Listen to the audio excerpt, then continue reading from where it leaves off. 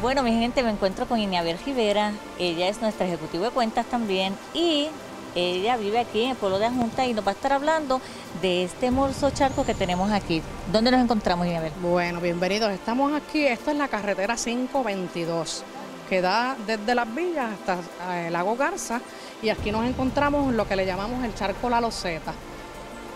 Aquí vienen todas las personas, no solamente para los que hacen turismo interno, sino también viene gente del exterior también a pasar aquí en familia. Correcto, específicamente los días feriados, los días que son festivos, ¿verdad? 4 de julio, 25 de julio.